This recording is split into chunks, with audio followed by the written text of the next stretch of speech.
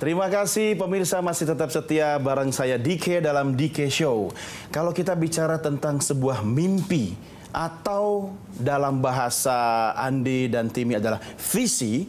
Kalau Anda punya visi atau mimpi tapi Anda masih bisa tidur nyenyak dengan mimpi itu, berarti mimpinya belum cukup besar. Tidak apa-apa Anda bermimpi atau punya visi yang besar sampai Anda susah tidur karena memikirkan mimpi Anda. Itulah tantangan buat Anda wujudkan dan buktikan bahwa mimpi Anda cukup besar. Nah, kalau Andi dan Timi sendiri, apa yang bikin Anda berdua nggak bisa tidur sampai hari ini? Nih, apa nih? Uh, Selain uh, model rambut yang sekarang dimiliki. ya gimana karakter-karakter lokal kita Indonesia bisa uh, berjaya di Indonesia sendiri. Hmm. dan next stepnya go global. Gitu. hmm. kita mau go internasional bawa, ya. bawa karakter.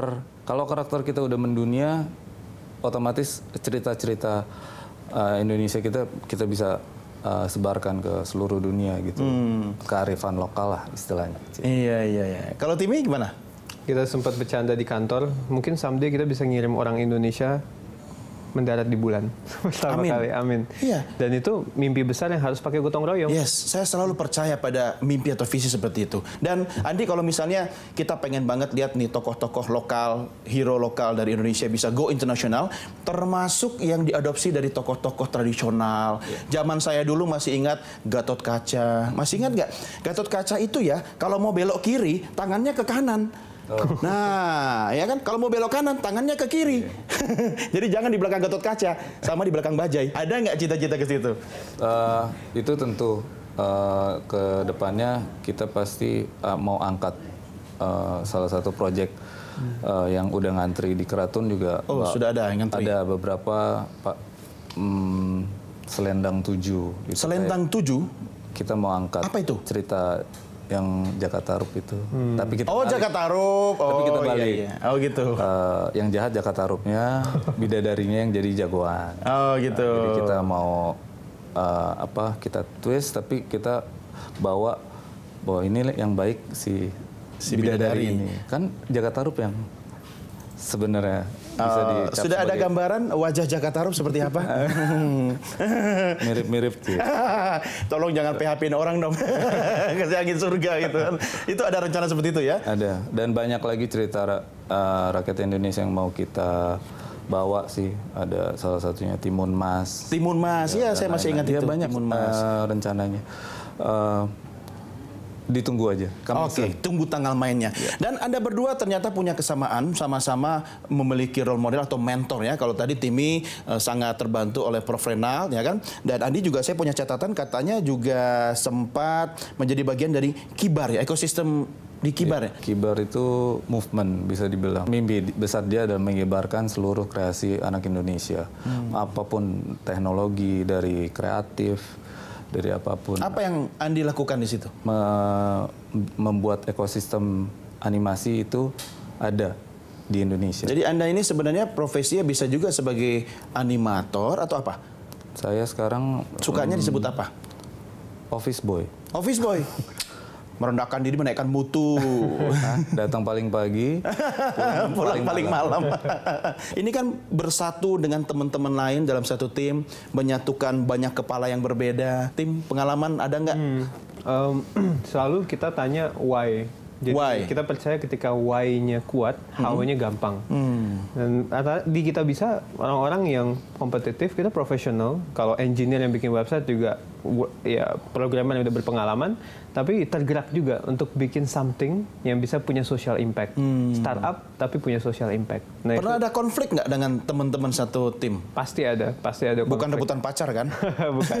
Sampai rebutan pacar langsung pasang sendiri di akunnya di kita bisa ya kan? Dukung siapa? nggak nggak sampai segitu, cuman akhirnya kita ingat lagi bahwa why we are doing this gitu. Dan setiap minggu kan kita ngelihat KPI kita itu apa aja sih yang udah terdanai. Ada KPI-nya juga? Oh iya, pasti. Jadi donasi yang terkumpul berapa berapa proyek yang terdanai. Dan kita happy banget orang dari seluruh Indonesia masuk ke kita bisa pakai bawa kabar, kabar gembira kan? Yeah. dia mau bantu ini dia mau bikin itu. Dan sudah terdanai dapat laporan. Kita walaupun nggak ada di sana tapi atas kita bisa bangga bahwa kita ada sedikit lah sahamnya di sana kan kita Ya. udah bantu itu terwujud. Ya, dan ternyata tidak pernah ada orang jatuh miskin karena sering berbagi, membagi atau memberi. Nah, kalau di Andi sendiri dan tim bagaimana? Apakah pernah ngalamin mengatur banyak kepala yang berbeda? Apalagi di awal-awal merintis nih ya, dari belum akhirnya jadi keratun sampai sekarang sudah jadi keratun, apa pengalamannya? Ya kalau pengalaman dari keraton sendiri, yang penting kita punya mis- eh, visi, misi yang tadi. Eh, tim juga ditanya, eh, ini visi kita membawa eh, pesan yang kayak gini. Para animator itu kalau yang setuju ya ikut berjalan, yang enggak juga punya visi sendiri ya silakan. Ya. Tapi yang penting kita selalu mengajak teman-teman untuk ini gimana visinya. Toh untuk kepentingan kita bersama gitu. Dan masalah akan selalu pasti ada, tapi Iya. Dengan masalah itu kita bisa maju terus kalau kita selesain satu persatu sih. Hmm.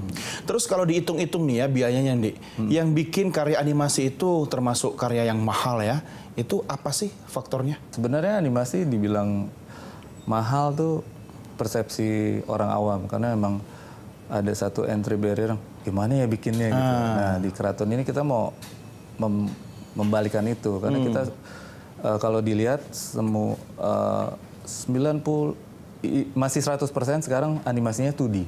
2D, 2D, 2D animation. two dimension. Iya, itu kita lagi di kantor terus melakukan R&D untuk gimana caranya membuat animasi secepat mungkin, sebagus mungkin tentunya, tapi bisa efektif gitu. Jadi kita lagi godok trainingnya juga untuk gimana menyebarkan virus ini karena kalau orang-orang itu bisa setiap orang bisa bikin animasi kan lebih baik Iya. mereka bisa bercerita sendiri eh, dan lain-lain dan itu sih mimpi besarnya juga dari kita untuk menemukan formula itu Oke.